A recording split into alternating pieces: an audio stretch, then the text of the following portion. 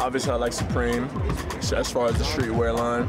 I like YSL, more higher end, upper echelon. Um, what else?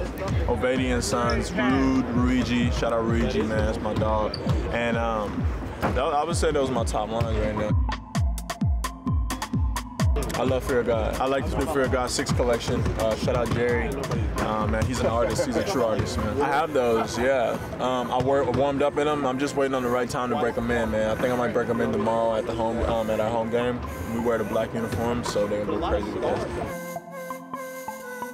I signed a deal with Converse. Um, you know, we are partners, and you know, I just look forward to creating. And I, I get to wear Nikes on the court, uh, Converse off the court. So, you know, it, it's, it's a great situation to be in. I would say one fashion do you try to color coordinate. You know, that's what I try to do. And one fashion don't don't overdo it. Like a lot of people overdo it because you know they want to be dripping. You know they want to have drip, swag, all that. Like that don't mean nothing, man. Make, make sure you feel good, but don't try to appeal to the masses of other people. That's what I was. I don't believe in those.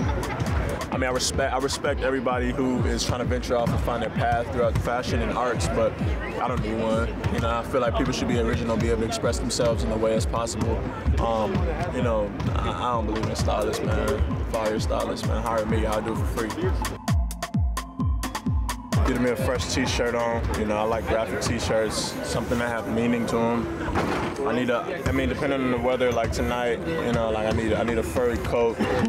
Way too cold to be playing around with this weather out here, man. Um, and also I need some pants, but I need the pants to be flooded with some long socks, some white socks, black socks, depending on what the colors are.